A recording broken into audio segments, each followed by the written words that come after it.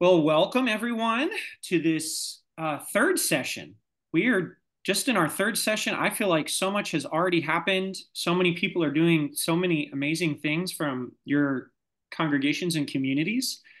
I want to keep getting started today by asking anyone who has a neighboring story to share their story today. We we've broken into groups before to do this, but um, in our big group today, um, do you have a story of a neighbor encounter, a neighboring attempt, a neighboring um, interaction or conversation, or something that you did kind of as homework over these last couple of weeks as you have been trying to dive into this neighboring adventure?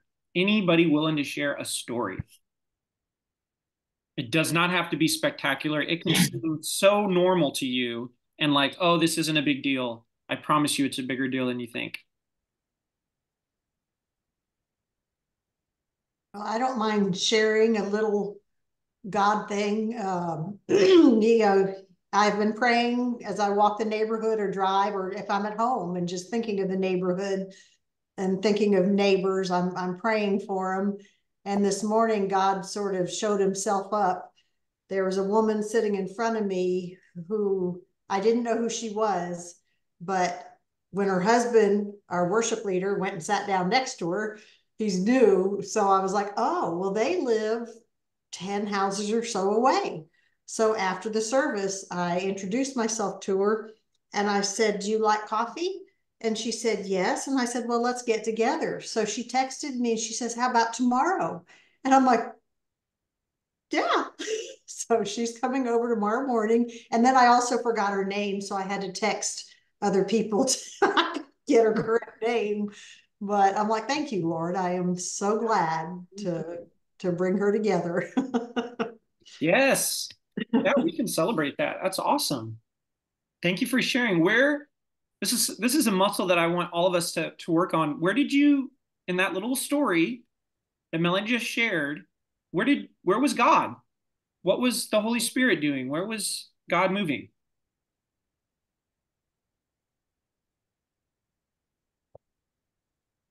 I'd say in helping you make a connection, being alert to that connection. Because sometimes, you know, faces, you see so many people and it's just hard to notice and go, wait a minute. Mm-hmm. Notice, noticing, I feel like noticing doesn't get enough credit for being a work of the Holy Spirit because we notice things. I'm ADD, so I notice a lot and it's too much. But I think every time I pay attention to something, God is offering an invitation. Do you want to see this? Do you want to take a step further? So that's great. Where else did you hear God or see God in Melanie's story?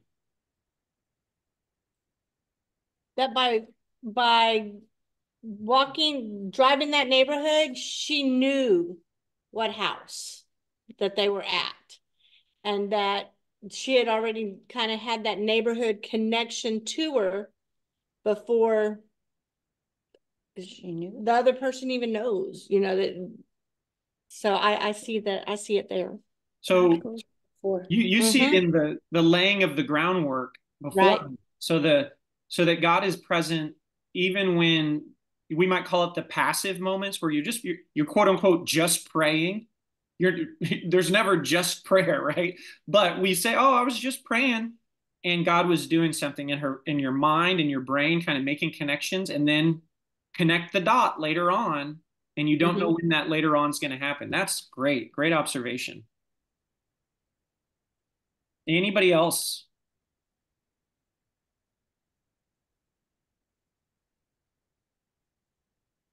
Okay. any other stories? Can we have another volunteer to tell a story of neighboring or an attempt or i'll do it. Um okay. It's a pitiful attempt, but I did it. Okay, so I I went to the store and I like those little um our pastor is actually the one that started doing it, I guess in Emmaus and would pull out these little sheets and like tell you pick something, like pick a blessing, right? And you pick it out, you're like, wow, this is so for me. So I've just been doing that. It's kind of like it was just it's easy because you're passing along a word of encouragement, like um some scripture and then you're also like telling them i'm thinking of you because you've gone up to this person and said here have this. This is how i i've been so i've been going through them and like if i think of a certain person when i see that little saying or the scripture i go and hand it to them and i tell them hey you know i had you on my mind and i'm you know I'm just praying for you and then i give it to them. I if they want it or don't you know that's between them and um god and then i you know i'll just walk away feeling better because i've done my part to just try so I love it. Wow. Can we agree that that is not? Did you use the word pitiful? Uh-huh. yes that's that's not a pitiful attempt. That is i like grew up baptist right shame. Let's the Christian shame is strong. Yes, it is a powerful thing in our culture, but that is amazing. I've never I've never done that. Um, that sounds bold and courageous to me, and also very personal and um, vulnerable. So, I mean, where where did people hear or see God in that story?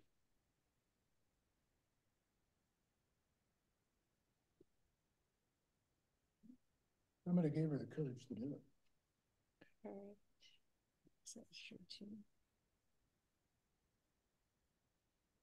I guess for me right now, in seeing that y'all thought that it was more of a deal than I thought it was, so I was like, I'm just ripping pages out of a little book and giving them to people.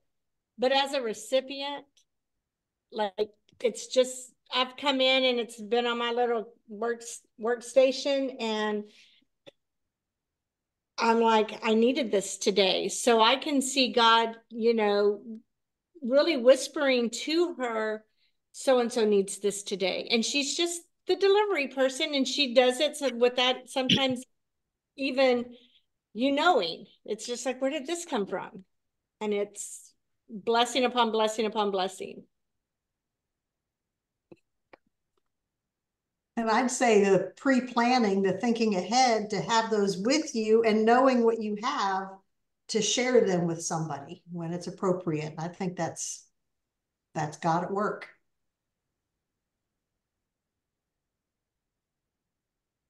But it might be oversimplifying, but when I think about it, there's not a place in those stories that God isn't. I I mean, agree. it, he knew exactly what would happen before it did, and he had everybody in the right place, and somebody accepted that nudge. I I really see God in the, and I think this is so man, this is so important for just Christian life, but neighboring's a part of that. Finding your own way to be you and to be a good neighbor. And so you feel, you know, I want I don't want to use the word comfortable because it probably stretches you a little, but um, you know, your way that say, I can do this. I can I can take a piece of paper from these blessings and scriptures and share them with people. And sometimes it takes us time to find that way that's our way, but that could be your thing. you could do that for the rest of your life. And so many people I know will be blessed by it. And you could become that lady, right? the blessing lady. There she is. Who, who, I have a I have a really short, cool story that happened this week. So we did STAR testing in my district on Tuesday for reading. And I have a little one that every time he takes a major test, his test anxiety is so high that he he cries and he goes outside and he throws up, throws up, throws up, and then he's fine and he could do his test. So Tuesday morning, uh, he came in and he came and hugged me and he's already crying. And I just asked him, I said, honey, is it okay if Miss Fox prays over you? And he nodded his head. And right there in the middle of my classroom, in front of God, everybody, I said a prayer over this child. He quit crying. He didn't throw up and he completed his test. And she didn't get arrested. And I didn't go to jail. In education, So- that's real probable. uh-huh. So that's Thank my you. little story. Yeah, no, thank you for sharing that story. Well, I, I want to remind you all it is sharing the stories and then giving each other this encouraging feedback is sometimes makes the difference between do we keep following God in this thing or do we do we get do give up? Because it is hard to follow Jesus sometimes. It feels like a risk. It feels it feels pitiful or it feels small or insignificant or we think this just isn't going to make a dent. And then when we share it with others and we get perspective, um, not only do we keep going, but we we actually have a full tank, right? Or we get we get some of our mind rewired a little bit. And so last week I emphasized the importance of having some regular way to reflect together. Because if we can't reflect together and encourage each other and learn from each other and celebrate each other, um, then we we just don't get as far you know we need we do need each other. You all know that. That's why part of why you're in a church and why you're here. So thank you so much for sharing those stories. Those are great. We could keep going i know. So today i want to i just want to get you all excited and i about how present god is in your neighborhood. And i want to expand your idea of the neighborhood to include your church so Melanie told a story where somebody in her actual neighborhood where she lives was also her neighbor in worship at another, you know, in the row in front of her. So you have neighbors in your church. Maybe you don't know all your neighbors in your church. Um, then you have the neighbors around the church. So whether you're a rural or urban community, there are properties that are near the church. Those are your neighbors. And then you have the neighbors that are around where you live. And God, you know, we believe in something called prevenient grace. We believe in the incarnation. And what those things mean are that God's grace is already moving and present outside the walls of the church. We do not have to be the, the only ones who bring God to our neighbors or, you know, awaken God. I mean, God is there and God is working. And a lot of what we get to do is discover and join in um, what what God is up to. I'm going to share my screen and we'll start looking at this a little closer. And I really would love to hear um, your your thoughts and feedback. Can you see the screen okay? Is the presentation coming up? Okay. God is in the neighborhood. We did that. Okay, so our scripture that I wanted to think about with this may not be surprising about hospitality. Do not forget to show hospitality to strangers. For by so doing, some people have shown hospitality to angels without knowing it. Okay, Hebrews 13, 2.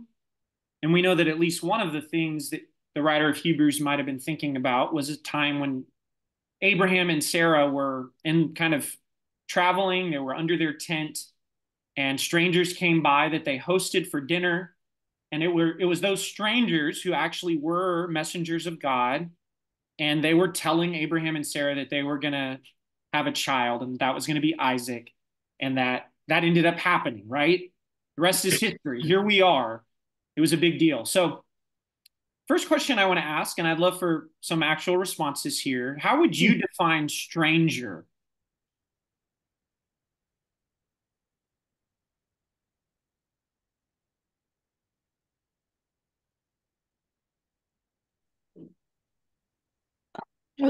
Simple would be not known to me. Someone you do not know.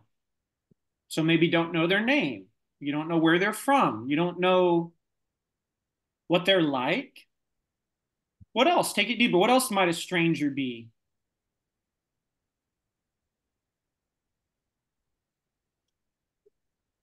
An opportunity. An opportunity, I heard someone say. So, stranger is an opportunity. Or target. it depends on who you're, who, who you're telling it to, I guess.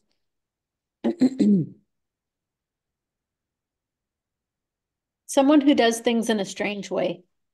There we go. So the word strange is in there. That's really good. So someone who does things in a strange way. And of course, strange is um, relative to your own sense of normal, right? Mhm. So we might do things in a way that are strange to someone else, and they do things in a way that are strange to us. What we do know these colors you guys are putting on. Someone who's different from you or believes differently than you do. So this includes belief. It includes just saying I, they're not like me, right? So much in Scripture talks about loving our brother or sister. It talks about you know the fellowship of believers, the church within the church. It's very clear that this passage is about strangers, right? People who are not in your group. And I am certain that you have some neighbors who are strangers according to some or all of these definitions. Amen. Amen. Okay, so what is hospitality? That word is used twice. How do you see hospitality? Yeah, Hosting. I would say. Hosting. Okay, so one way to think of hospitality is that we become the host and that somebody comes to our place and we host them. Kindness. It's hard to think of hospitality without there being some kindness. If it's a Welcoming. welcome.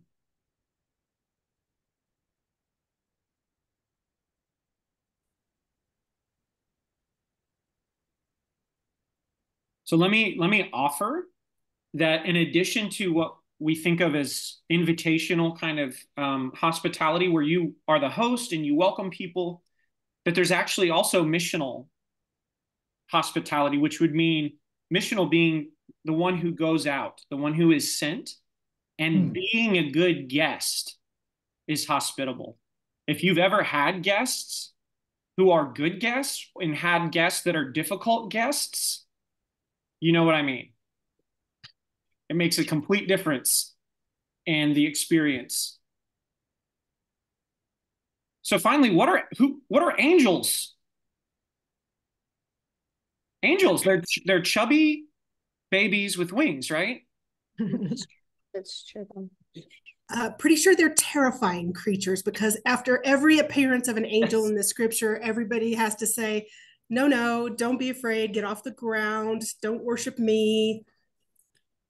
Yeah, awe-inspiring, uh, terrifying, definitely used around angels again and again. And what what what are angels' role? What are they what do they do? To bring a message, yeah, give information.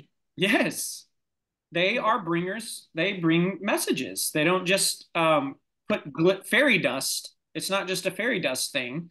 It's like news, usually pretty life changing news, right? It's never news like who won the Spurs game. It's like major life changing news. So, thank you. Any other thoughts on that passage that are burning inside of you that you need to share? Right in foot.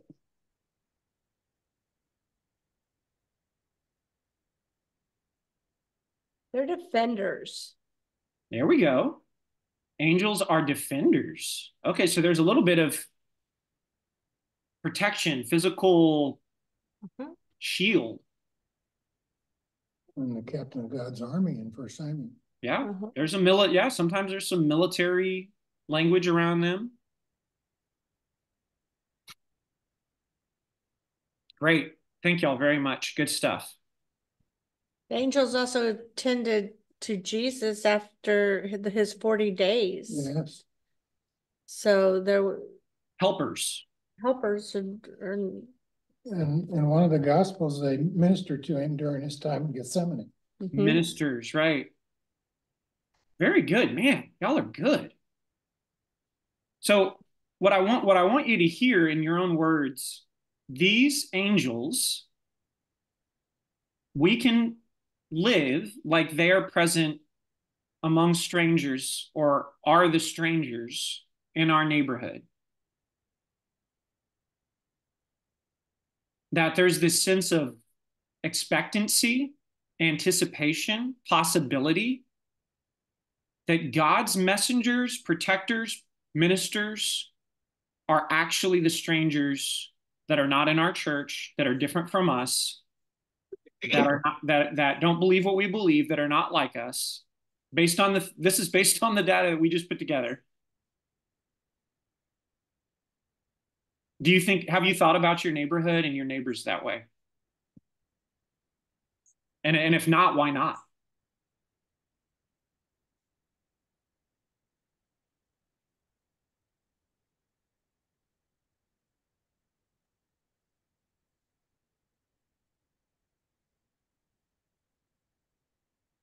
Probably because of the sense of permanence. You know, if you're in a neighborhood, you have homeowners and home renters, and it's hard to imagine an angel with a mortgage. Yeah. I mean, when I hear stories of angels appearing, it's more it's more transient than that. Okay. Passer pa- people passing through. Right. Okay.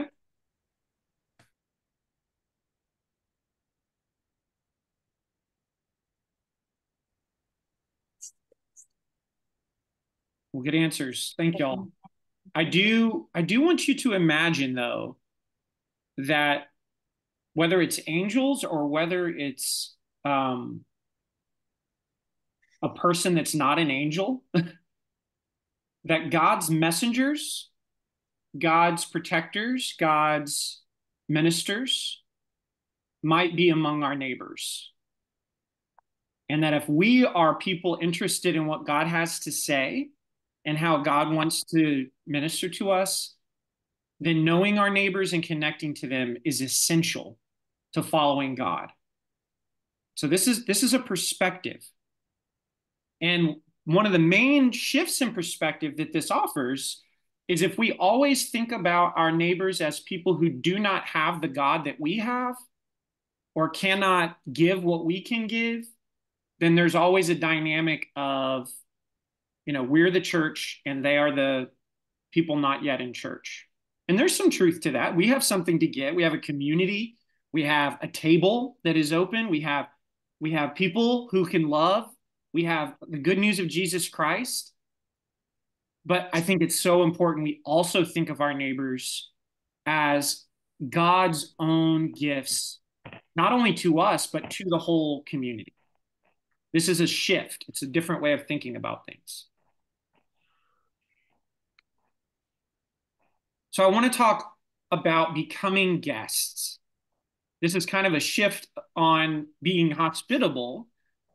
But I think about the passage in Luke chapter 10 when Jesus sends out the disciples and says, When you enter a house, first say peace to this house. So they're sent off in pairs to these different villages, and they are told to go into the homes of the people who welcome them.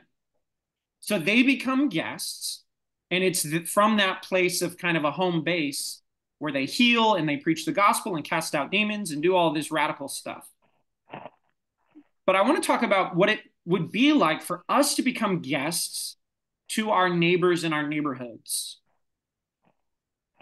So, one of the things that that leads us to is having to respect someone else's house rules. Do you have any house rules? I'm curious. Anybody in here ask you to take your shoes off if you're in your house, just as a courtesy? We got any shoeless? Nobody's a shoeless house. No carpets.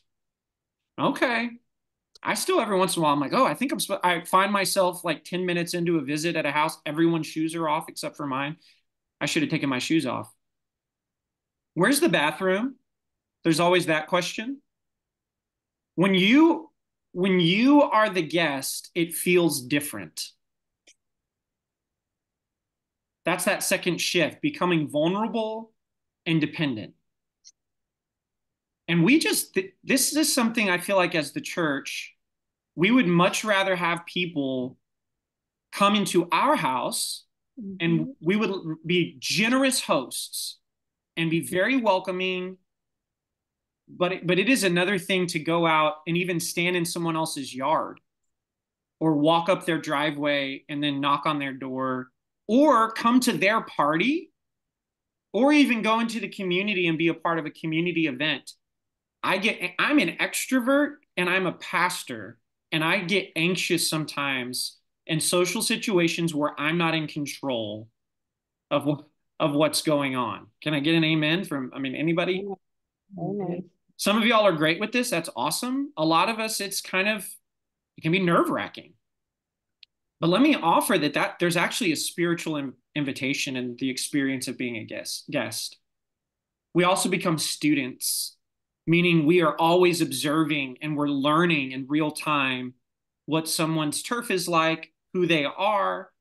And then the people that we're we're visiting who are the hosts are going to be different. They're going to share differently and express themselves differently and offer things differently than um than if they were the guest.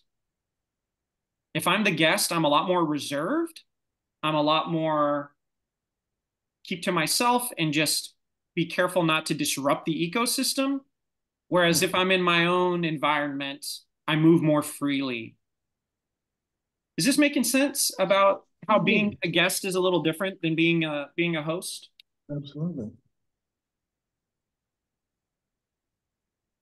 Trying to get back to full screen here. Did I lose y'all? No. There we go. Where am I? There we go. Well, we didn't lose you, so Where do you have an opportunity in your church to be a guest? I mean, you be a guest in your community.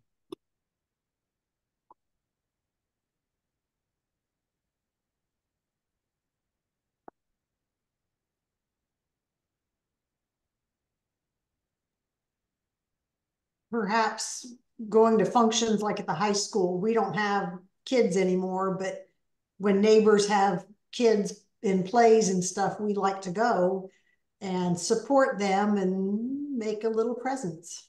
So, Divine, did it? Did y'all ever make it, or still thinking about going to the baseball games that are near the church? Oh, divine. I was thought I was like, Yes, some of us made it last week to several games. Okay, so that is a great example of having to be a guest, right? You're that's not you don't own that. That's not the church's property. Any anybody want to experience say what it was like to be the guest at those baseball games?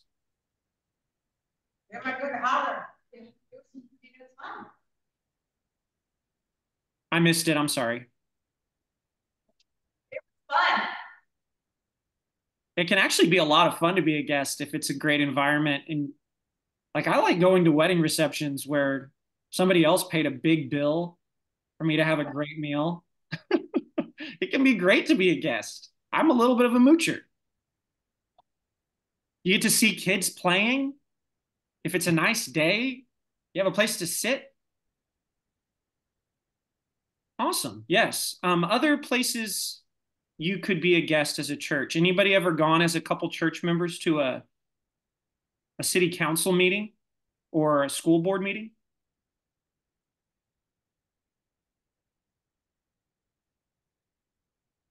There's a place to be guests. Don't bring not to bring pickets. That's not what I'm talking about. No protest, just to actually be a good guest. And any other thoughts on being a guest? What about in your neighborhood? In your neighborhood, so not the church, but where could you be a guest where you live?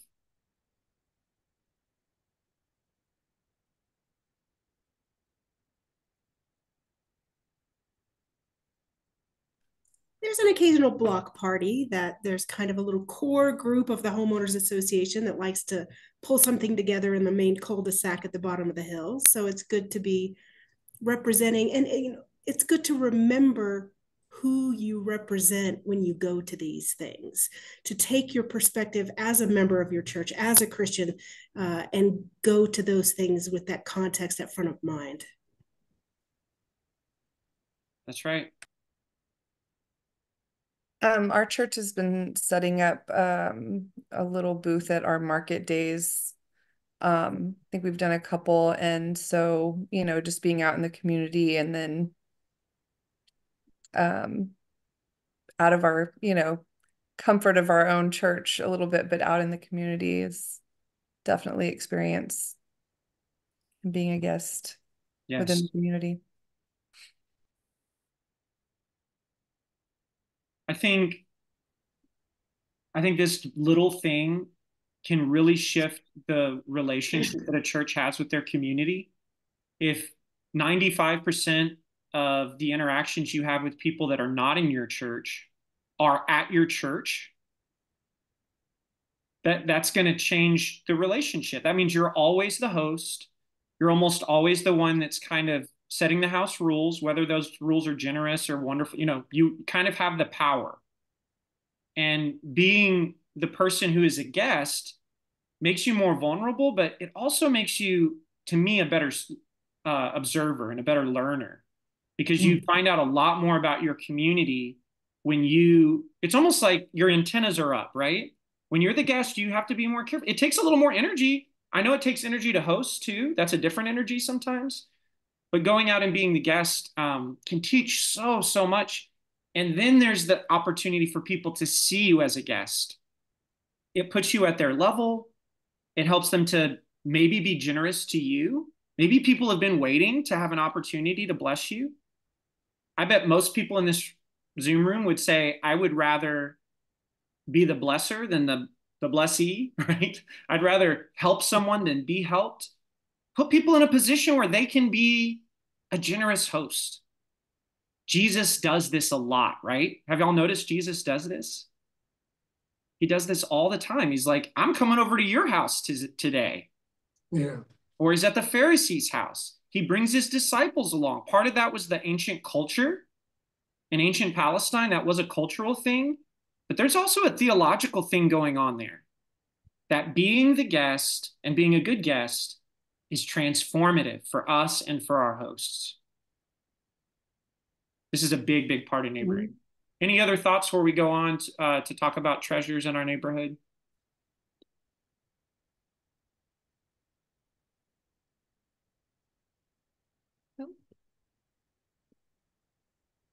Okay.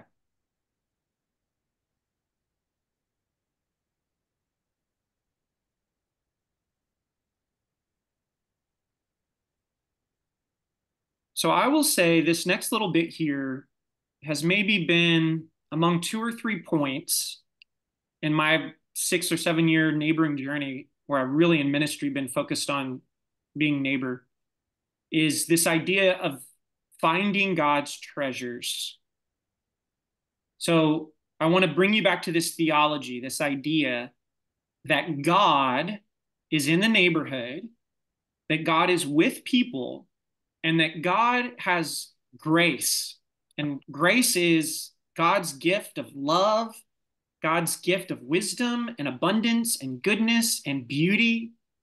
And that this grace is just waiting to be discovered like treasures that are so often hidden. And I firmly believe that around each of your churches and each of your homes, God has treasure that is waiting to be discovered and celebrated and enjoyed.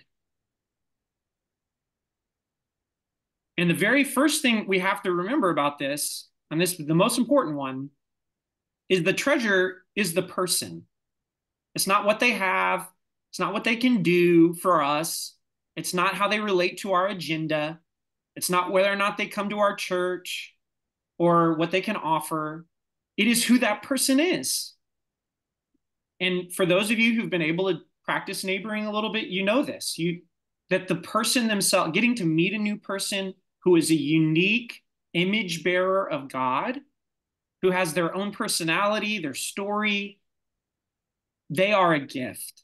That relationship is a treasure. But then as we go deeper, as we get to know someone, the next thing that they bring to us is their perspective. So if you have ever been in your church and wondered, what do we do next? Or how do we reach our neighbors? Or how do we, you know, what's going on in our community? How do we, what are the pain points? What are the things people want? Our neighbors have the answers to those questions. They have a perspective that we need That's people who care about people and want to know what God is up to. So their perspective on the world, their perspective on the church, on God, on life is so it's such a treasure. So you might find out from neighbors around the church treasures of wisdom and knowledge that are that are like um keys, major keys for the life of your church. And they're just sitting there waiting to be discovered. I'm trying to think of an example. Um, I should have had one ready and, and, don't at the moment, but um, but I have stories of, of people in their church getting to know their neighbors and realizing like, oh, well, we built this whole parking lot or had this whole program and didn't even realize that there was this need right around our neighborhood. Somebody who's lived there for 30 years has been paying attention to something we weren't paying attention to and um, gives us wisdom and insight through their perspective. The next thing, and this one gets me really excited, people around your church, around your house, and in your church, in your church, have gifts and skills that are awesome. So just like in your church or in your family, you have people who can make that casserole, you have people who can knit that sweater, you have people who can build a wheelchair ramp, you have people who used to work at an amazing job who used to, who are educators with children when you start adding the gifts and skills that you can discover as treasures around your church and around your neighborhood it creates this abundance of skills and abilities and interests and talents. And we're going to we're to do a little activity in a minute to help you experience how how real this is um, and how possible it is in our neighborhood. And i kind of mentioned this last one wisdom. That's just the history the people that are that are there in your neighborhood and so my perspective has become that pretty much everything we need to be a thriving congregation to be a church that's connected in our community god has provided the treasures and i don't think god is trying to hide it from us because um, god is cruel or joking with us I do think that God is drawing us to connection, drawing us to love our neighbor. And when we do that, we also find out what we need to know and we find the gifts and skills that we might need to be a thriving church. Let me stop here and just ask if this makes sense and if there's any questions. Yep.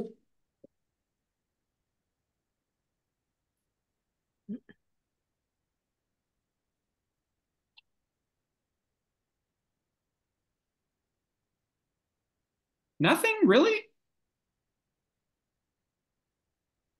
Come on. Quick studies. What's that? Oh, your quick studies. Yes, you are quick. a very intelligent group. I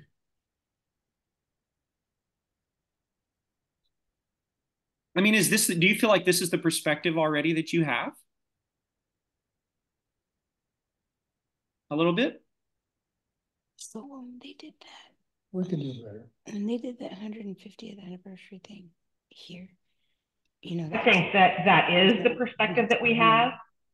It's just tapping into it.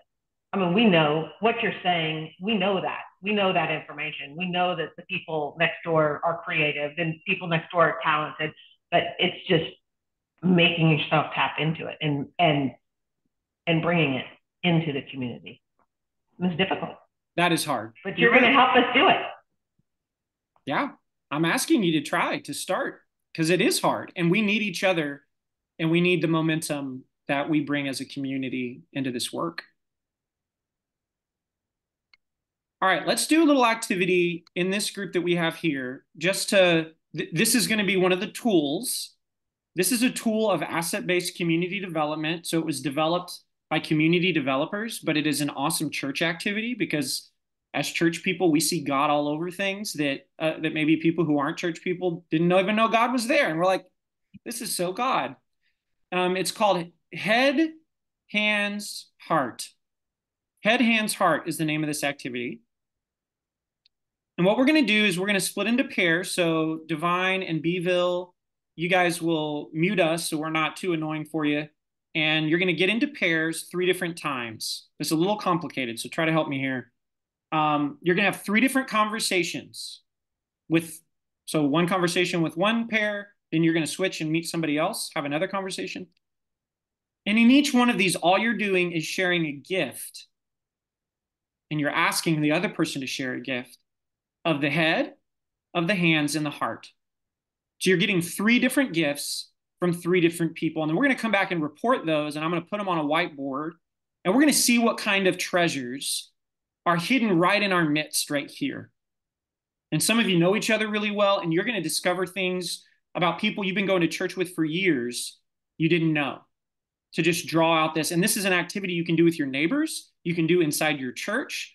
Um, and it's pretty fun and not too awkward, right? It's not, it doesn't, it's still hard to do if you don't know somebody, but it's a very easy thing to do. Right. So do you mean we have? Say it again. Mean a gift that we have? Yeah, you're going to ask the other person, what's a gift of the head? And so they're going to ask you, what's a gift you have? And if you don't ask it, you can just volunteer that information. But yes, you're going to be sharing your gifts. This is hard. Another thing we've been taught in Christianity sometimes is like, don't celebrate yourself. You know, don't talk, don't talk about yourself. That's prideful. I, I want you to, I want you to celebrate who God has made you. And I want you to celebrate that you uniquely have gifts that are awesome and beautiful. So let me just describe these real quick. A gift, a gift of the head is something that you know, that you know well enough to talk about it and teach someone else. Okay. So it's the gift of knowledge, of wisdom that you can share with another person. And it could be anything.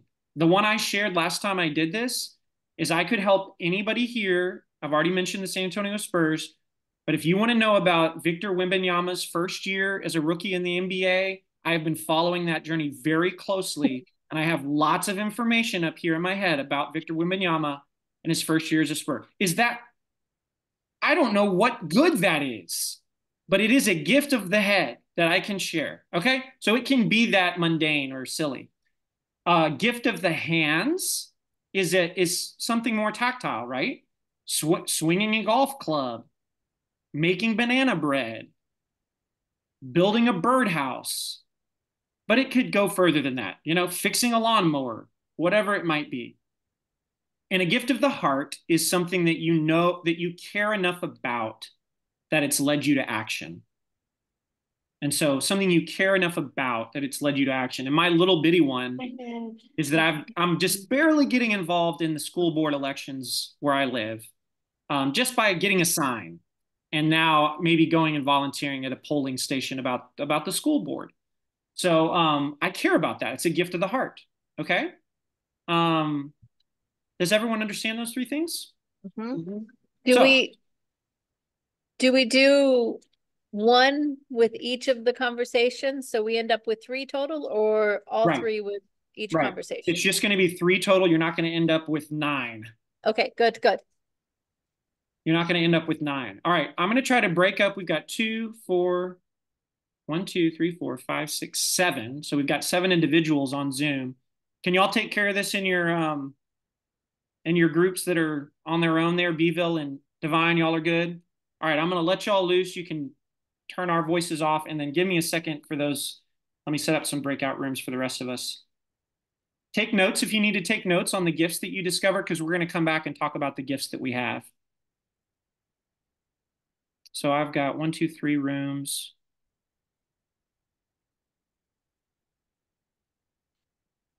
All right. So can I get Michael and Angela? Do y'all want to join room, room one? Dana and Melody, can y'all be in room two? And Melody and then Melanie and Stacy, can y'all be in room three? Okay.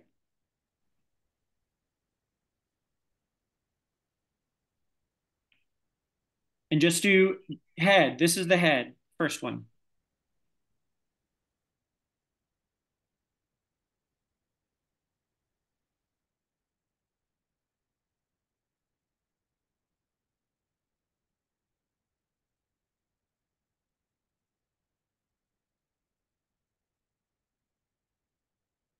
Michael, go to room one with Angela.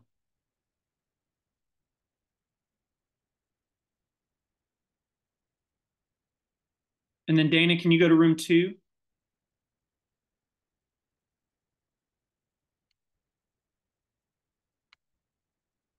Dana, can you hear me?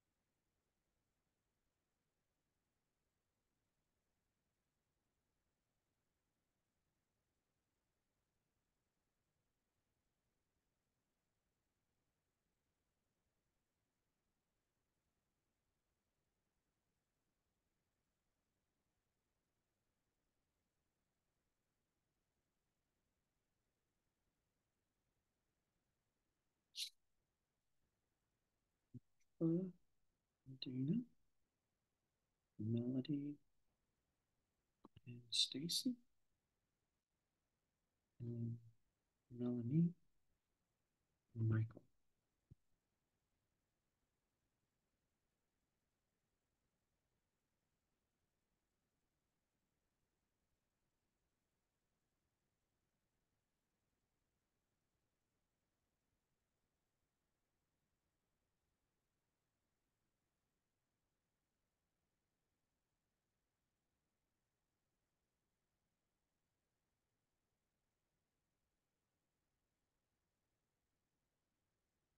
Angela and Dana move to one.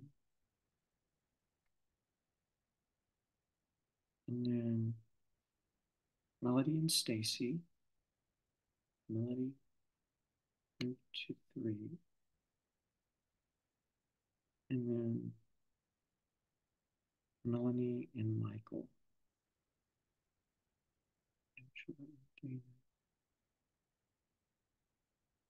Melanie and Michael.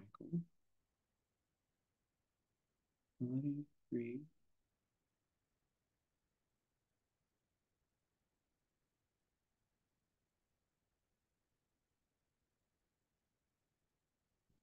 Melody and Stacy.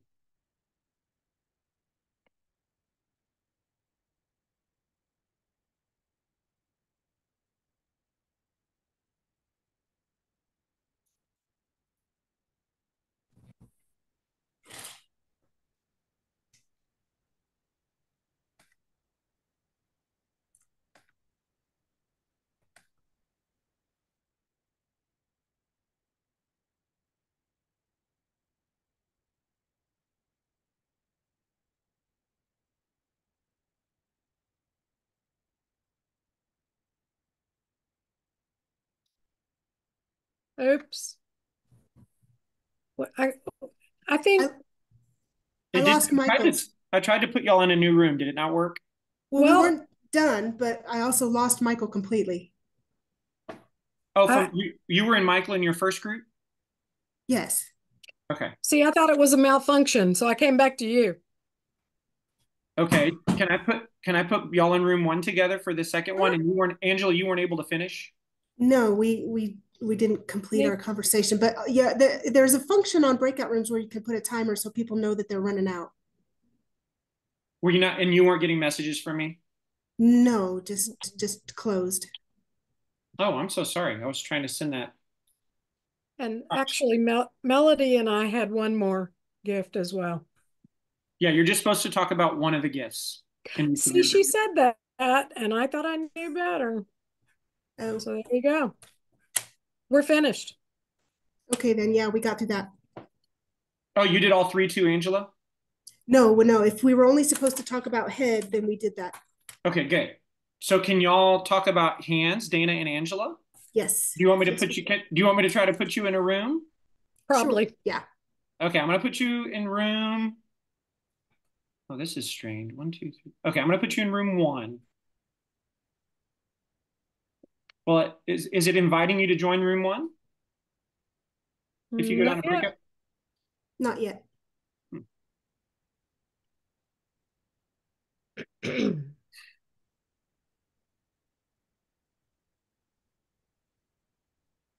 Yeah, I don't know how to fix it because it says it says you've been invited. I'm sorry. Okay, well, I can actually click more and then join breakout room. Let me try that. Yeah. Yep. Let me try it.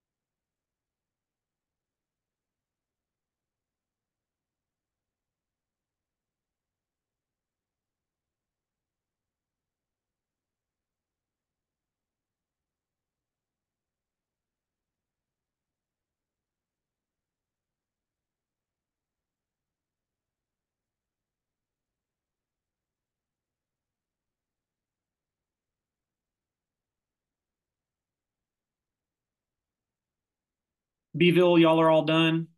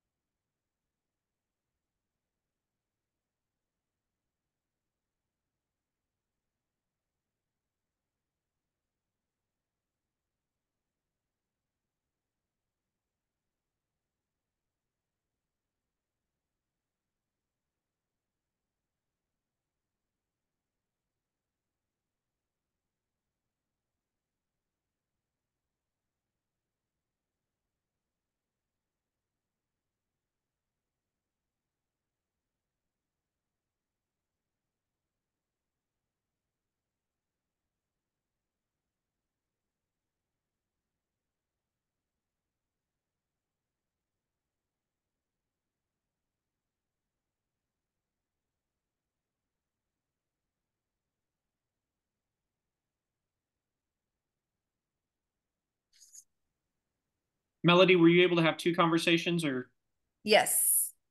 Sorry, it said uh, someone told me that it didn't broadcast my warning. So I'm sorry if you didn't know that it was coming and you just got moved over to another room. Oh, it was fine. We figured it out. It's no problem.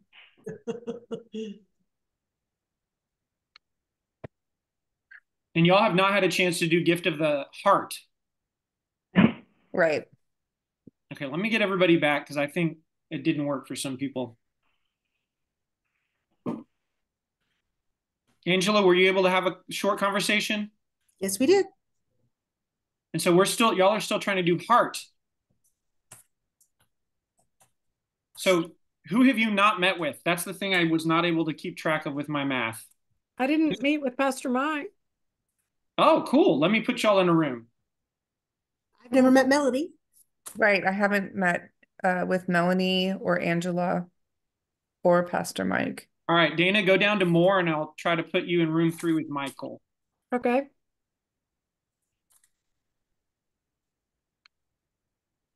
And then Michael, you'll have to choose to be in room three. And then I, who who said they? I'm sorry, I missed the other one.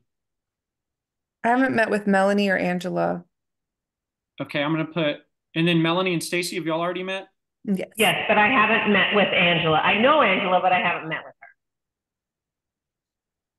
And Melody hasn't met with Melanie. Right. Oh, whew.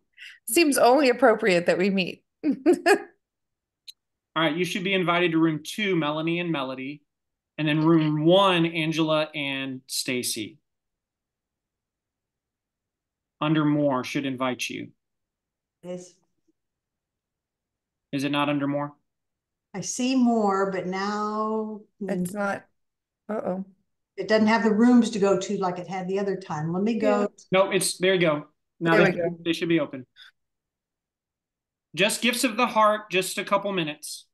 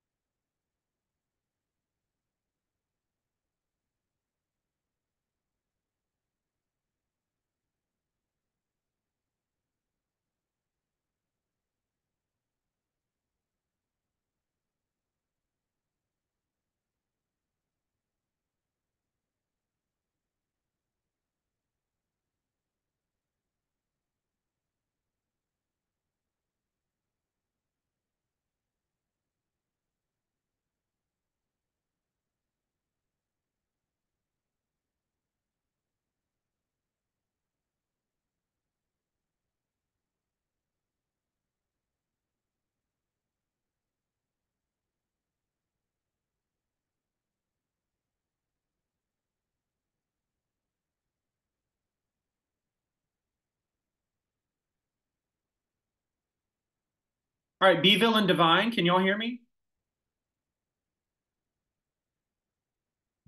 All right, everybody's going to be coming back in a minute. We'll share. So if you want a reporter, Devine, for being able to hear well, I don't know if you listed them out or each one of you wants to share, but we're going to actually be sharing the gifts that we discovered. So all those gifts of the head and the hands and the heart, we're going to compile them on our whiteboard and just get a look at all the treasures that we have. So however you want to best way to report that from your room um, would be great. Beeville, can you hear me? Hey, Beeville. I just got to do this until they see me. Beeville.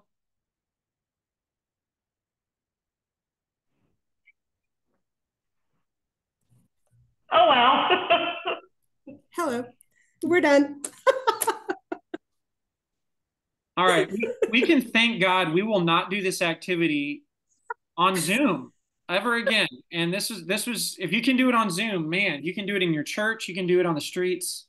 This was hard. I think you did a great job. It was fine. Yeah, you did. It was fine. It It worked was fine. out. It worked out fine. Do not worry. It was fine. It was a little bit speed dating. It's kind of a little speed dating thing. except- Speed dating. but you're just trying to find out gifts. You're like completely platonic, wanting to learn the gifts. All right, Beeville, you with us? Okay, so now we're going to whiteboard this and we're going to start seeing all these gifts come to life. If you missed a gift, that's okay. But what I'd like you to do, and we'll just go from one person to the next, I would like you to report on the gift of the head, the gift of the um, the gift of the hands, and the gift of the heart that you learned about. So you're actually talking about someone else. And I am going to show you the whiteboard. Somehow I lost Pastor Bell. Do y'all see him? I don't I don't see him. His screen is not on. So hopefully he'll be able to join us again. Sorry about that. We were in the, you know, little sidebar room together, but. All Don't know where Can you, can y'all see can y'all see our whiteboard? Working on it. All right, let's have somebody report. And again, you might not have them all. What was the gift of the head you learned about? And we'll stick with you for all three or two or however many you had. So you want to let's Um, I'll do it. all right, Dana, go ahead. What'd you what'd you learn about? Well, I, we have a musician and I, I'm, you know, I don't think I'm supposed to be envious, but I actually am a little. Any Um, specifics on the musician on what instrument? I didn't even ask, but I know that that person directs the choir and also teaches music as a profession. So that's pretty, that's pretty significant. It is significant. Awesome. What an amazing gift. Did you learn about a gift of the hand? I did. Um, we have a person that cooks every day, wonderful food, and the people that she's cooking for know they're they're lucky. So we've got good food, gifts of the hand. Did you get a gift of the heart or we're not able to do that? I did. People in need, reaching out to people in need and and um, sharing. All right.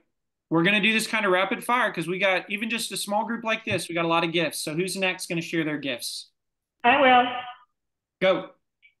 Uh, knowing, being knowledgeable about uh, the mouth and dentistry. Wow. Mouth and dentistry knowledge. Well, teeth, mouth, everything about the mouth. Awesome. Dentistry hygienist. Um, second is um, gift of the of music. And third is welcoming to uh, people from foreign lands. Mm. That's good. Good one. Awesome. All right, we're up to six gifts. Two over. We got a little bit of overlap right now. So what's our next? Um, our All right, next. I can go. Go for it. Um, organization and decorating for head. For hand, helping others, um, just with whatever the hands can do. And then the heart was a listener.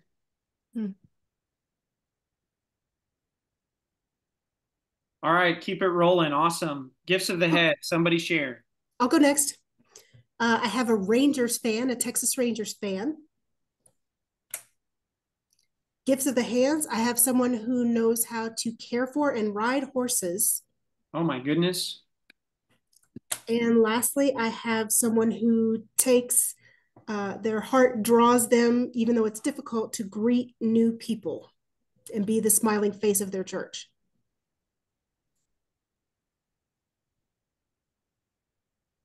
Awesome. Wonderful. This is beautiful. All right, who's next? I can go. Um, for the gift of head, uh, knowing about plants, Yep. gardening. Um, for the gift of hands, uh, crafting. And gift of heart, uh, listener. Got a couple listeners. Okay, now who who wants to go next? Keep it up. Y'all are doing awesome. I'll, I'll go. Uh, for head, I had uh, one that uh, speaks Spanish and it has many years of learning and speaking. Awesome. And then and the gift of education. Wonderful. All right, can we get our is that everybody who's kind of on the has their own screen? Now we're going to Beeville and Devine. Pastor Mike didn't finish. Oh, he didn't, Mike. Did you give a gift to the heart? Yeah, but uh, did not write it down. so it's it slipped my mind. Doesn't have a gift of memory. yes, thank you. Well, thank you for sharing those. Anybody else? We need we need our Beeville and Devine folks already. Okay. Michael, you want to go Yep, first? I'll go first. Head is music. Hands helping with lawn. Did you say lawn? Lawn, yes. Okay. Yep. And then students. Awesome. Um, I have scripture, like knowledge of scripture. Yep. Um, hands is cooking for people, making good food, stuff like that. Yep. And heart, um, thoughtfulness. Wonderful. Keep it up. Y'all are doing great. Faith for head. Faith. Who am I, who am I describing? Hands is me. Painting. Oh, yes. Is this like art or like um home home painting or both? Watercolors. Watercolors. Thank you. And then Michael for. for- What was the last one? Michael Hart or Michael. Heart for his family. for his family. for his family. Yes. Wonderful. Okay, uh, my head was, I have to put my glasses on. No, uh, Science and Bible. oh yeah. Science and Bible and how they go together. Um, Michael's hands, he, anything mechanical he can fix. And um, heart. Oh, a heart for worship and, and leading worship in, in our church.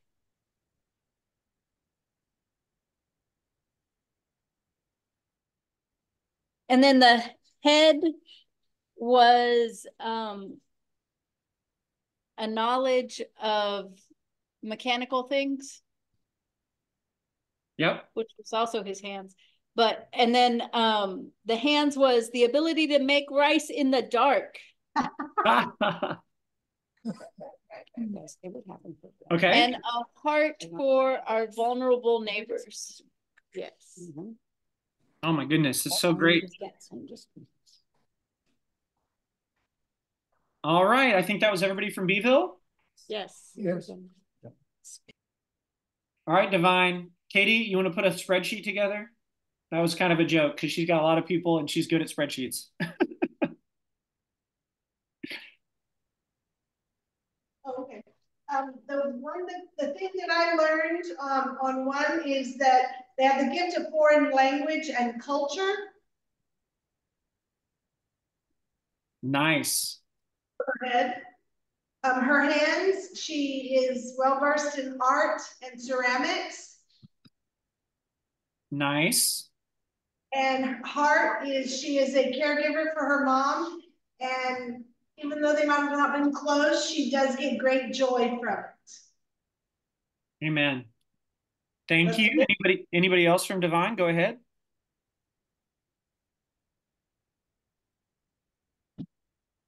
Anybody? Oh, okay. So, um, I learned that, um, we have a gift of organization for the head. A gift of, um, listening and caring from the heart. Okay.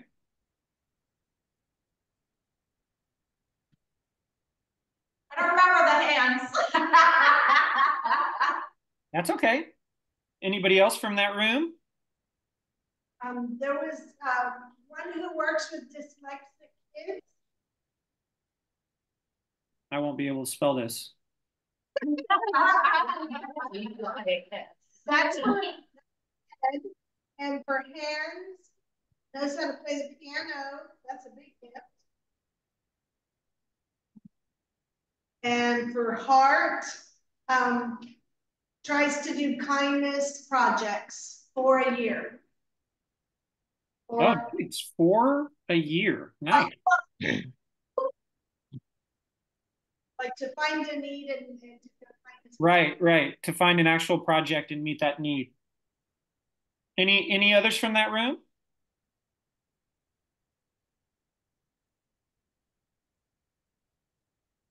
And one that has a photographic memory for head. Okay.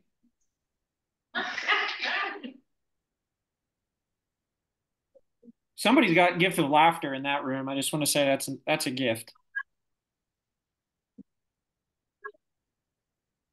Uh, gift of the hands. is they're really crafty. Crafting.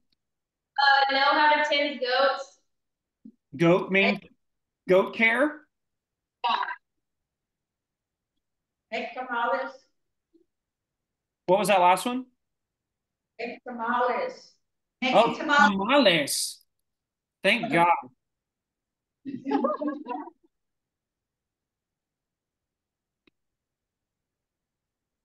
Okay. Is that everything, Devine? Or most of it? Okay. Folks, can you just look at, isn't this ridiculous? And that, you know, that took us, that took us about 20, 20 to 25 minutes to go from the conversations, learning about how to ask the question, and then getting it on a board. And we were, you know, it helps that we're all in the same room and it helps that we've all been trained church people. Follow directions. But um anybody can do this. And you know, one thing I've done in my neighborhood that's I'm going to keep this, so we'll still have this and we're going to look at this next week. So I'm going to go ahead and um close the whiteboard. Um how do you feel when you look at that list?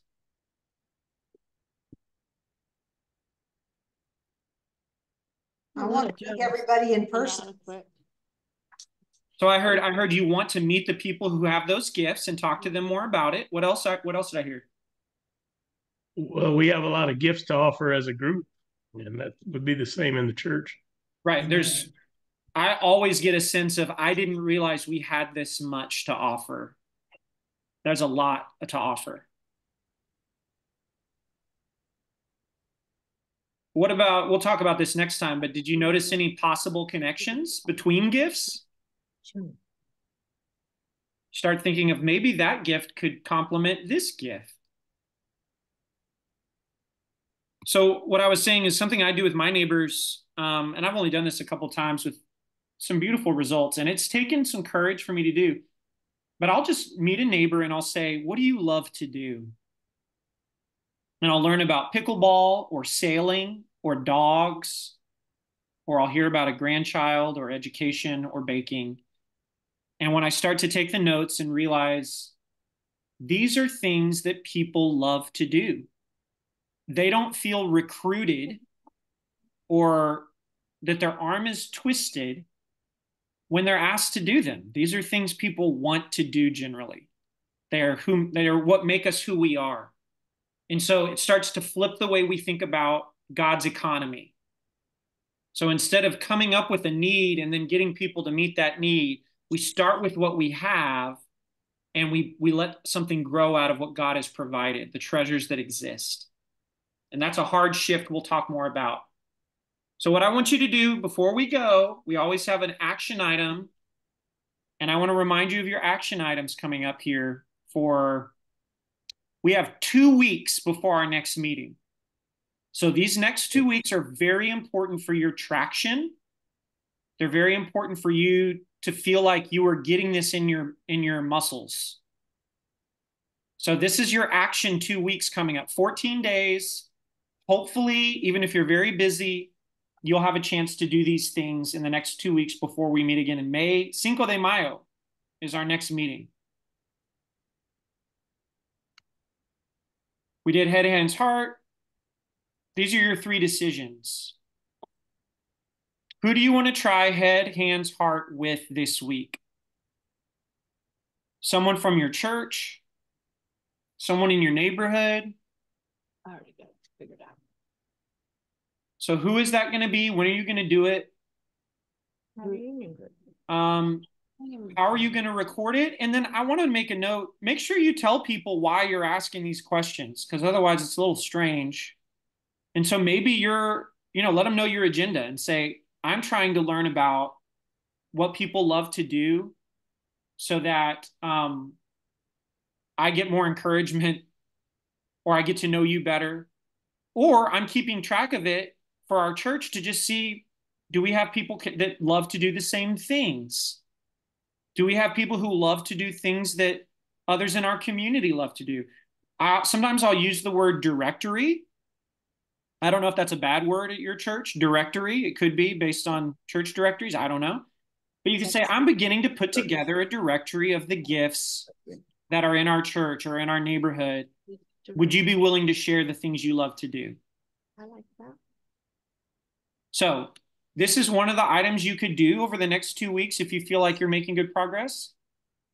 If you feel like you still haven't made that neighbor connection that you want to make, that's still scary to you, maybe over the next, you have two weeks to, to do that. So keep trying to do that if you haven't made a neighbor connection. If you have made a neighbor connection in your neighborhood, try to make another neighbor connection in your neighborhood. Keep doing that. Let me slip to the next slide here. Oh. The other thing you can start to do is start getting things on your calendar. So let me give you an example. Devine, I'm picking on Devine because I they're who I thought of. I saw that in Devine, maybe it already happened, but it looked like the volunteer fire department was having a chili cook-off in April. Does that sound familiar to anybody?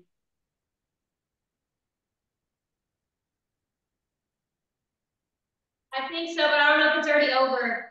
I know. I saw some things that looked like it was in February, and then some things that said it was scheduled in April. I don't know.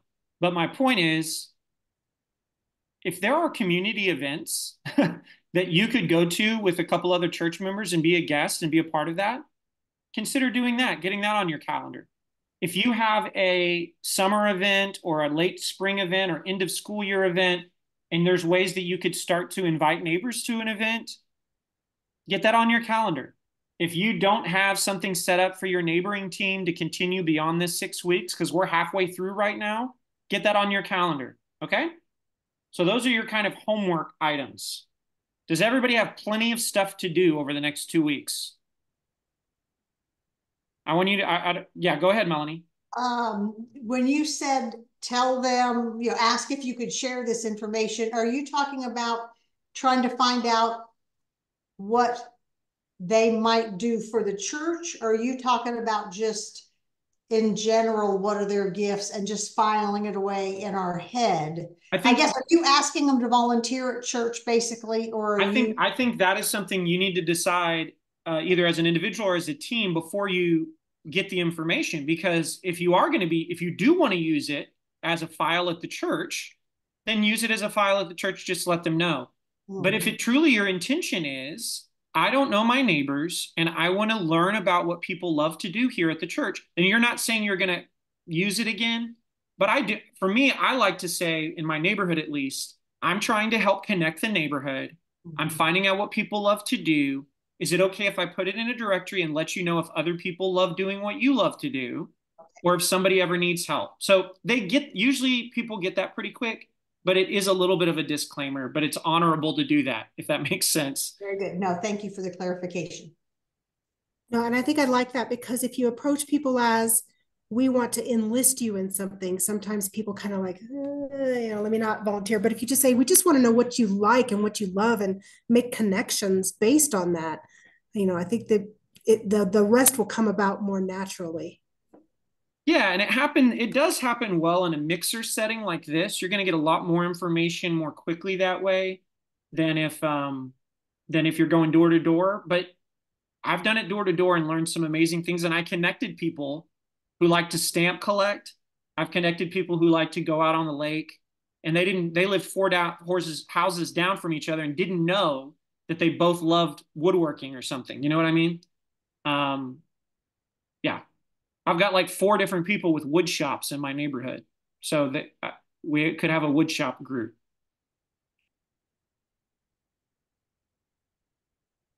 All right. Well, I have kept you long enough and we need to pray. What I'd like you to think about is what is God calling you to do as we go? So, some options. is God still nudging you to make a neighbor connection?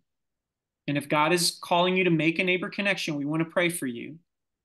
Is God calling you to have a learning conversation with people in your church or with people around your church about what they love to do? Or is God calling you to read some of these books and to kind of get more, if this is still not really getting you excited, to kind of find the spark. What I want you to identify, so just take, we're gonna have one minute of meditation and one minute of prayer here in a second. So, what is it God is inviting you to do? Where do you find the Spirit's nudging? You don't need to say anything, just take a note.